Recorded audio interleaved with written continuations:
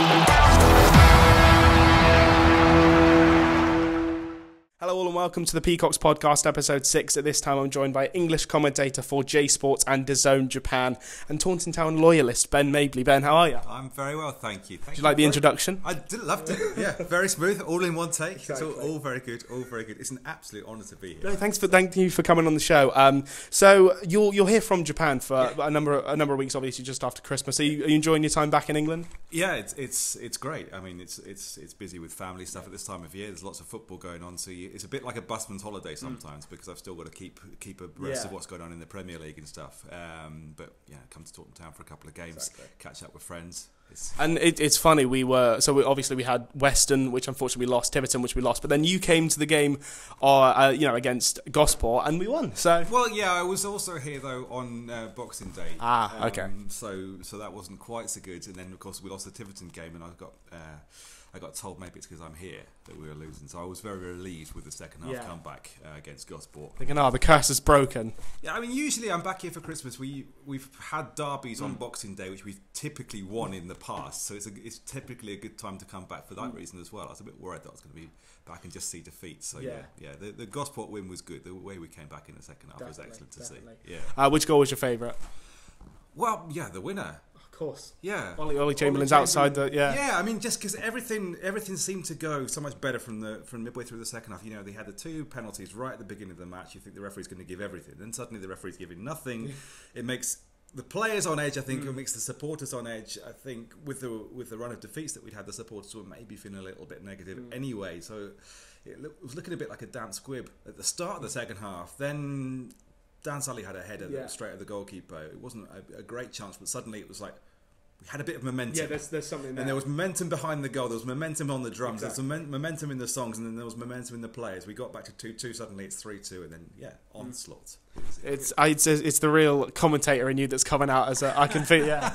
Well, you know, you, you have to sell the story Exactly, of the match, don't yeah. you? You have to find where the story is. I mean, the story is. I was telling my friends um, behind the goal, Hmm. uh, like, there's got to be an onslaught the second half. It's going to happen, and you know, the first ten minutes it didn't. You've got to believe in these things, haven't you?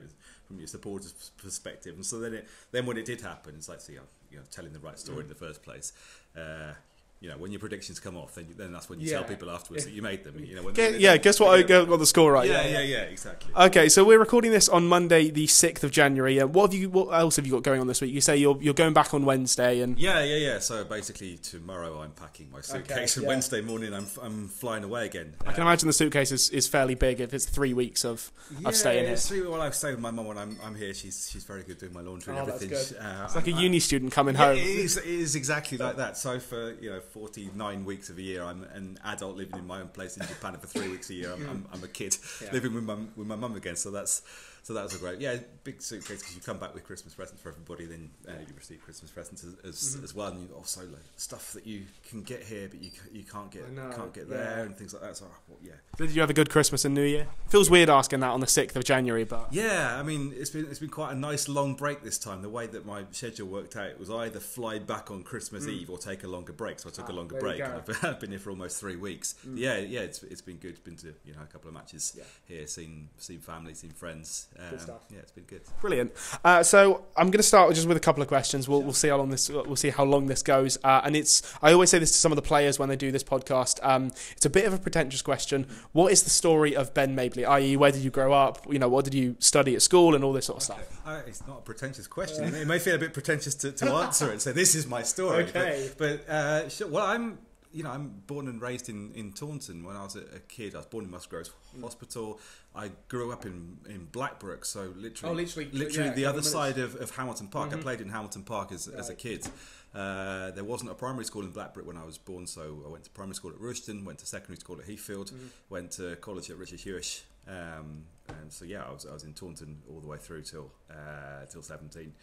Um, went to university, studied Japanese, Yeah. What, what university? Oxford. Oh, it was Oxford. Yeah, Yeah. I've, I've had someone say that before. So yeah. Yeah, yeah, I was yeah fortunate enough to get in in there. Yeah. Uh, and until that point, I mean, I was good at maths as a kid and, and did like maths and further maths at, at Huish, and English language and physics. So you know, I was more on the on the sciences side than the art side. But my dad used to work for Japanese companies. And would travel to Japan two or three times a year, uh, bring back Japanese toys Yeah. to me as a, as a kid, and it, that kind of that sparked a bit of an interest. Oh, there's something here. There's something here. So. Uh, yeah, so I had this interest in Japan. I came to go and looking through university Mm. brochures, uh, prospectuses, and uh, so what am I going to study? I Don't really want to do maths anymore. And oh, you can study Japanese, and it was it was literally that. I didn't Yeah. even realise you could study Japanese until I was looking through university prospectuses. So actually, yeah, I've always been interested. Is it? I mean, obviously, you, you know a bit now, I, I, obviously, but um, it- is, is it an easy language to learn? Do you, did you find was it struggling at some parts or? Um, naively, my first year, I thought I'm picking this up pretty Okay. quickly because I mean I, I'd studied French and German at Heathfields and never took that any further. But you do that obviously as part of ten different subjects Yeah. or whatever that you study. When I was, I was just studying Japanese with Japanese history and Mhm. culture and other lectures as, as well, but it was just purely focused on Japan. Right. So you, you cover a lot more in a, in a in a week, in a month, in a term than you would do obviously at school. So I thought, yeah, I'm picking this up quite quickly after four months, uh, went to Japan for four months. This was you know, part of the course. Yeah. Went to a university there, lived with a host family who didn't speak English. Okay. So you're thrown in at the deep end. But when you are, you do then. The I suppose that was a bit challenging. yeah, but then you do then learn to swim, and you come back and think, well, I've only been learning Japanese Mhm. for nine months, and I'm This is going well. going all right. Yeah. Then you get your textbook for the second year. You open the first page. There's still this much I have to learn. And the third year Oh, no. comes, Yeah. And the fourth year textbook comes. Oh, you know, you the, the the more you the more you know, the more you realise there is that you still don't know. Mm. I think this applies to lots of things in, Yeah, in life. And yeah, so now, so what? I started university in 2000, so it'll be 20 years this October that I first started learning Japanese, and I can't claim it to be perfect. It's good enough to do the job that I do, Yeah. so, so it's not bad. But um, yeah, it's, Yeah. It's, it's, it's different. And speaking of the, the job that you, how did how did you get into commentating and football media in general? All right, so I'm now I'm a, a commentator on Japanese uh, TV. As as you as you said, I work on the Premier League Mm. and on the Champions League, and on occasionally on the Belgian league. Okay. funnily enough. In, on, so this is commentated in Japanese on, on European football uh, from studios in, in, in Tokyo. And I also co-host uh, some review shows Right. and shows looking at the wider culture. I've seen a couple of things on Twitter about that. Yeah. yeah, yeah. So I mean, for example, there's a, a pre-recorded show that went out today where looking ahead to 2020, and so with the result of the election, Mhm. uh, now Brexit is happening this month. So what's the effect on Brexit? Yeah. Of Brexit going to be on the Premier League? So we have we have segments on that sort Got of thing ya. as well, sort of Yeah, yeah. wider issues. Um, so so yeah, this is the job that I do. How I got into it was well, I had a year in Japan as part of my university course. I went, went back for a second time as a student, and by chance ended up in a city called Osaka, which is like Yeah. the second city. It's kind of like the Manchester, I Mhm. suppose, of Japan. Loved it there. Thought right when I graduate, don't care what I do. I just want to go back and live in Osaka for Mhm. a bit. It Doesn't matter what I do. I um, got a job as a translator. Um, thought I'd be doing that for a couple of years and then come back here and start a real career Yeah. then I liked it too much.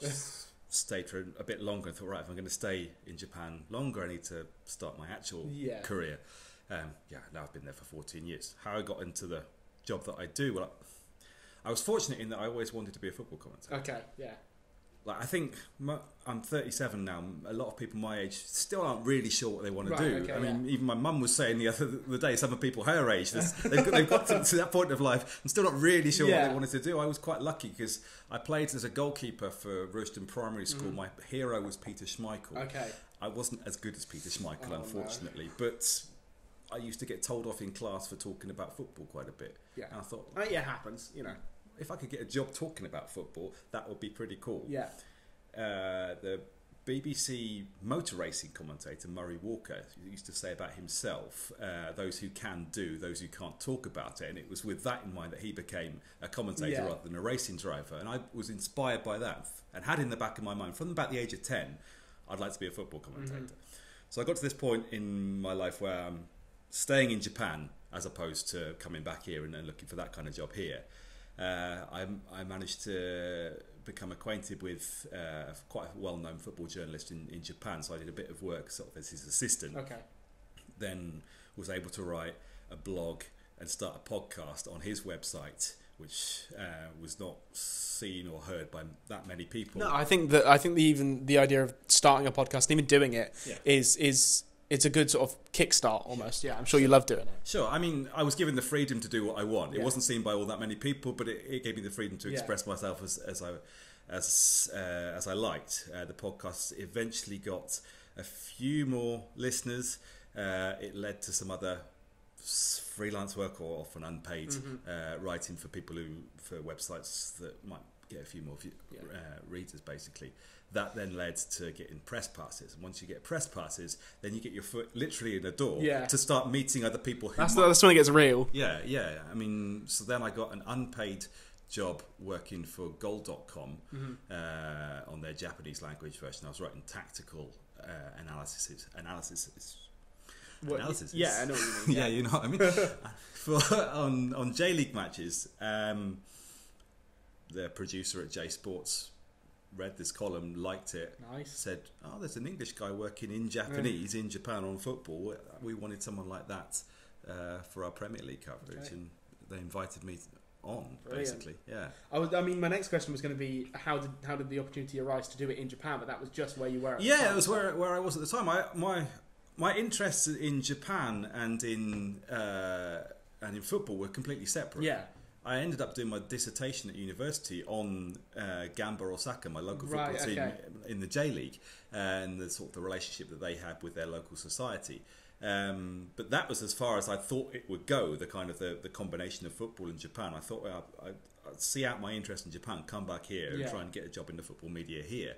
Um, But you just I- loved it so much. yeah, Stayed, yeah, and so so if I was going to stay any longer, it's like, well, I can't wait until I'm Hmm. thirty something, come back here, and then hope to start a career. It might be a bit too late by then. You know, I needed to get something, get the ball rolling. No, I definitely, I, I, Yeah. I totally agree with that. And you've got, you've got to, if you want to do something, you've got to make something of it. Yeah. You've, you've got to start. Uh, Whether you know, if you if you were younger, if, if it's early in your career, then Yeah. you've just got to do it. Because, like you say, if you if you end up thirty and you still don't know what you want to do, but if you go Yeah. back to Japan and and things may have not worked out in the way that you want, yeah, you yeah, want them to. exactly. I mean, I was fortunate enough in that the degree that I had um, in Japanese had given me pretty good skills as a translator. Mhm.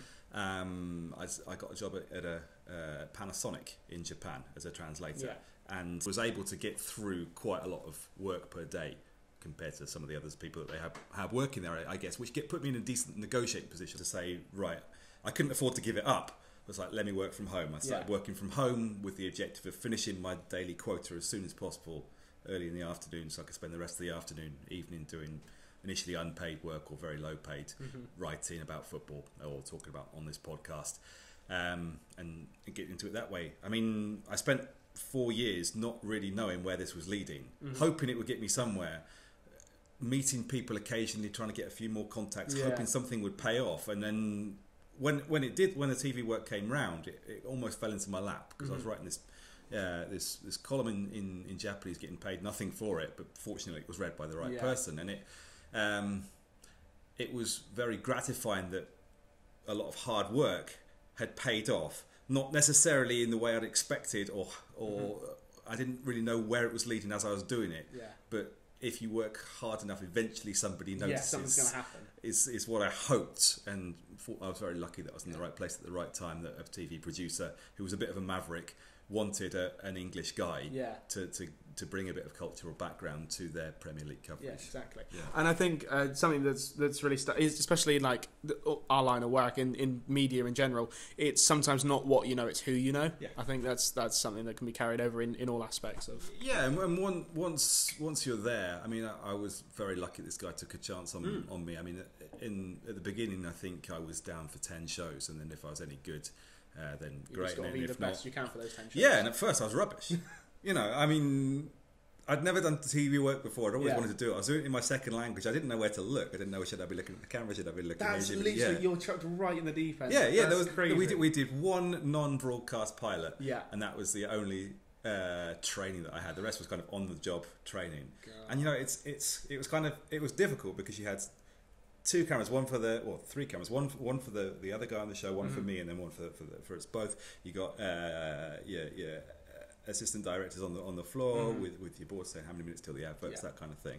And I've got my notes and we've got our script and stuff. And then the monitor showing what's been on screen at the moment. Got ya. And and you know I'm used to that now, but at first it's like, when There's can I look where? So many screens. yeah, and when when do I have time to look at my notes and, and not it, Yeah, not be when, on camera? is it on me? Yeah, yeah, When yeah, am I yeah, not yeah. live? All this And stuff. so I mean, I'm sure the first ten or so that I did, I was rubbish. But fortunately, they you know they, they kept me Yeah. on until I got until I got used to it. And ultimately they let me talk about my hometown, and I got away with talking about Taunton Town Good. on the show. Good. And yeah, this is this has been a theme of my work Good on you, since Ben. then. Well Yeah. done. Like, you know, towing the company along. I think we like that here. Yeah, Definitely.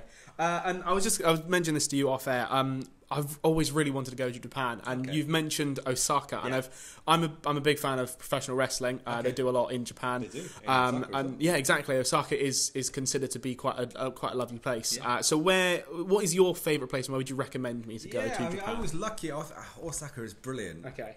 Osaka- Why is it brilliant? It's it's really hard to describe, but it's it's quite different from the rest of Japan in that people are quite outgoing. People are and people are friendly in Japan in general. yeah. Don't get me wrong, but uh, I think on the whole they're quite reserved and, and, and conservative in, in many parts of the, of the country. Tokyo, particularly in Osaka, people are a bit a bit louder, and it can come across to, to people who are not familiar with it as a bit more brash. But I think there's a there's a warmth there. Yeah. There's, there's a, a really strong local identity which came across, which really appealed to me when I was there as a student. Mm-hmm. Um, I mean, Osaka, yeah, it's got a wrestling culture. The baseball team is, is extremely well supported. Right. Hanshin Tigers. Um, they're not very good, but they but Everyone shows But- up. I mean, the, Yeah. just the passionate support there is, is just an embodiment of the local pride. I spent uh, the first month I was there. In the year that I spent there, I went, I went behind the goal at three local football Right. teams: uh, Vissel Kobe, which now has Iniesta playing for them. Okay, yeah, yeah. Uh, Cerezo Osaka and Gamba Osaka. Gamba Osaka was a, a tiny little stadium. The stand behind the goal was, was a grass bank. Mhm. You know, the facilities were, were, were worse than than, the, than at Taunton Town Yeah. at, at that time. Um, but the small gathering of supporters, they really cared. oh, for sure, yeah. And because and it's like, oh, why do you care so much? Because this is Osaka. This is what. Yeah. this- you know, this is this is our city. This is our town. And that sort of local identity that really uh, shone it through does was, resonate was, with people. was what appealed to me. The food culture in Osaka is good as as well. Mm-hmm. I think a lot of the foreign students who who who, who lived there, like me, had had just gone to Osaka because that was where the opportunity was. Yeah. I mean, they might have chosen somewhere else if given given that chance, but then found, oh, I'm so good, so glad that we're Yeah. here. So yeah, I would recommend that. What I would say in, in general is, if you're going to visit Japan, don't just visit Tokyo. Tokyo is good too, but if you put it the other way around, someone who's come from Japan, if they just visited London, and thought, oh, this is what yeah, the UK is like. it's not a like a proper idea of what Sure, actually L- London's a nice place in itself, but Yeah. it's not really representative of the rest of the country. It's a big sort of multicultural Yeah. place, uh, a global city, really. Okay. Um, if it's when you go to places like Taunton or even like to, to Manchester, Yeah. where you have a bit more of a local or a regional identity, where Mhm. the uh, the real kind of I don't know the spirit comes through, Yeah. and I, I guess that's what appealed to me. Okay. Yeah.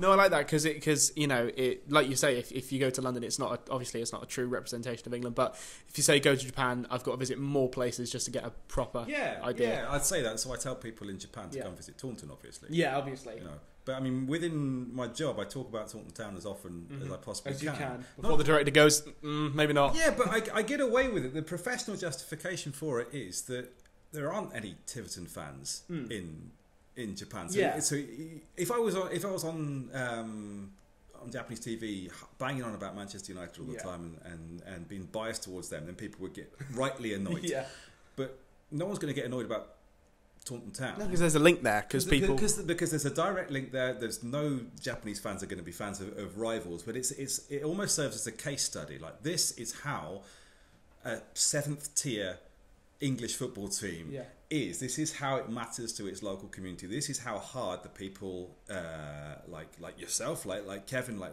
like Rob, um, all work. Mm. The, the staff, the players, the sacrifices that goes in, and it, it's there's so many great stories. And you know, had I been from another part of the country, it would have been that team that I was Yeah, talking about. Exactly. Because I'm from here, it's like okay, we don't need to talk about the other teams at this level because Mm. we don't need to give a comprehensive overview of non-league football, but just Taunton Town as a case study of non-league football, this of, of semi-professional football in this country.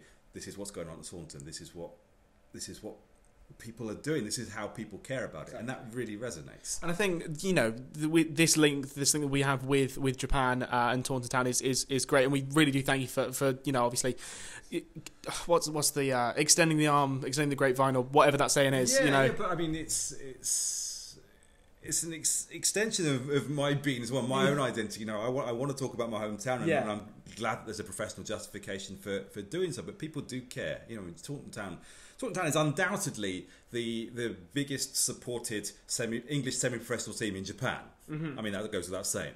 But I'd say you'd struggle to find anybody in League One or below Yeah. that has as many Japanese followers As we as. Taunton Yeah. Town does. I mean, that's just for me abusing my position, Oh, no, really. but, 100%. but but I mean, you know, there is an interest there because it is sufficiently different and it's sufficiently separated from the Premier League Yeah. and from the J League. But to to be a really good example of how embedded football is as part of the Mm. culture in this country and in this town, you know, and so any, anything that. Uh, I'm able to talk about or, or, or show to them is, is a pleasure for me, and it's a real pleasure for me for when Japanese people take an interest. Yeah, you know. exactly. Yeah. And uh, just to obviously, like you're doing, we're linking this to Taunton Town. Uh, how how long have you been supporting Town? Right, so well, as I say, I used to play in Hamilton Park as a small kid, Yeah. and I don't know if this counts as supporting him. Maybe I shouldn't say it too loud with the, with the chairman just in the other room. But I used to sort of peek through the Okay. fence because we're at the at the side that uh, backs onto Hamilton Park. So that's the Invest Southwest end now. Yeah. There didn't used to be the, the, the roof and the and the wall there, so there was just a fence with lo- Okay. lots of holes in it, and, you, and you could basically see. So I used to when I sat, Saturday Yeah. playing in the park. I used to come over then. The first time I came here officially, I was 15. That was for the FA Cup third qualifying round Right. in 98-99 uh, against Kettering Town, Okay. who were at the time second in the what was called the conference then. So in the th- from the third qualifying round, the conference teams came in, and so Taunton got drawn against the second hardest team they possibly could have done. Mm-hmm. Played here, won four three, last minute winner, Yeah. invaded the pitch afterwards, just brilliant. And you know your first You game's a, your that. first yeah. game's a four three thriller, Mhm. then you know, yeah, you you do get hooked, and I think I'm sure it's still the case now. You you grow up here, and your first impressions of football is well playing it in the park, obviously, but watching it on TV. Yeah. So everybody has a Premier League team or, Mhm. or a professional team that they support. I was no different. Um, but then you, you realise that Taunton Town exists, and, Yeah. and, and uh, as a teenager, I was at Richard Hew- Huish College, had a slightly more money in my pocket, so okay, I can afford to cut, Yeah. come in off my off my own bat. I came with a few friends, and it was brilliant. And then we went up to the uh, fourth qualifying match against Cheltenham Town, who were top of the conference. So they were the Hardest, yeah. hardest team we could have possibly got. Went up on, on, on the bus, we got to the stadium, um, and the match was called off because the pitch was waterlogged. Yeah. And poor Russell Musker, the manager at the time, was having to try and get players to get their time, Oh, get time off work yeah, for, for a can imagine. rearranged fixture in the, in the middle of the week, which Taunton sadly lost. Yeah, so from from then, I mean, then I went to university, so I wasn't here all the time, but back in the university holidays, uh, go to as many games as, you, as yeah. you could. Back then, you know, through the gates, two or three hundred people. Yeah. Uh, initially battling for the FA Vase and Mhm. for uh, promotion from what was then the Screwfix League. I think the Western Right. League with Tiverton Town. I've got relatives from Tiverton. So the rivalry we, we had with Tiverton 20 years ago was, was a bit of a family Still issue. strong. So it's still, Still strong. strong it's day. still strong. I mean, yeah, yeah. I mean, unfortunately, it didn't go quite so well the other day. but I mean, my, my Don't say that now, Ben, because it still hurts. It I still know, hurts. It still hurts. It's a big rivalry Exactly. again now because it was when 20 I- years ago, Yeah, when I first became a real Taunton Town supporter, that, that that was the rivalry, and I'm so glad that it is again. Yeah. Yeah. I mean, we'll we'll, we'll finish ahead. Oh, for sure. obviously. 100%, yeah. obviously. It's, and I must say, I must stress this. Uh, just going whilst I'm getting on camera. This uh, this um, this Peacocks podcast much better than that talking tivy nonsense. Must say, just got to get that out there. Yeah, podcast down there. Apparently so. Never heard of that. Uh, and we're just going to do the last question uh, for now. It's just a bit of fun. Sure. Um, would you be able to teach me some Japanese? Sure. What would you like to know? Uh, I think we'll just start with the normal hello and goodbye. okay, so hello is konnichiwa. Konnichiwa. Okay, I heard that's sort of probably the most um, well known in, in sort of English. And the, the most sort of polite way of saying goodbye is sayonara. sayonara. But it seems Okay. a bit final when you say that. If Right. you're just saying it to your friends, you you might just say jane. So that's just bye, is it? Okay. Yeah, like it's basically see ya. Okay, I think. yeah. yeah. And that's the thing is there's there's like like you have in, in English speaking, there's very informal ways and very formal ways of saying hello and goodbye. Yeah. Uh, let's let's go with yes and no. well, that depends on context. Okay. Uh, yes is basically hi. Hi. Yeah. Uh, no is iie. yeah. But I mean, there are certain contexts in which you can use it and some which you can't. Right. This this actually, I suppose, was the hardest thing about learning Japanese. In that, with European languages, there's basically not always, but most of the time, a direct translation for Yeah, everything. like Japanese is not always. Okay. And so you have to get your head around uh, that a little bit. Yeah, with the politeness, for example, there's basically six or seven different ways of saying anything, Okay. depending on who you are, who the other person is, who's more, who's older, younger, who's more superior or inferior, Right. depending on. I mean, I failed French, and so it was it was very like you know pronouns of he, she, and Yeah. and feminine, masculine, all this sort of stuff. Yeah. So we, I, we don't have that. That's a, we that's another thing I, I- I found out that the English obviously have he, she, and French and German all that, but Japanese don't have any pronouns or Well, they do, but you don't have to use them. You can, Okay. you can, yeah, you don't use the subject of the sentence very often. Right. If it's implied, then you don't, you, you don't. If you, you wouldn't say I am Ben, for example. Mm. You just basically say I am Ben. got yeah. So Um, like I'm Ben, but just yeah. Yeah, you, you wouldn't say the I, and if you- I'm going to do this, I'm going to do that. You wouldn't s- use the I'm, I'm, Just, I'm. I'm all the gonna time. do this. I'm gonna. Yeah. Okay. Yeah. Right. Yeah. Uh, and we'll go for just just for this last thing. Okay. Um, uh, what about Taunton Town score the winner? Is that uh, is that you know, obviously it links to your job, so Taunton Town が決勝ゴールを決めました。 That's going to take me a couple of tries. All right, thank you very much, Ben, for coming on. Um, obviously, if you'd like to send any questions to do with Taunton Town, you can do so by going to our social media pages at Taunton Town FC or by emailing media at tauntontown.com. All the best for the future, Ben, and that's the much. sixth episode of the Peacocks podcast.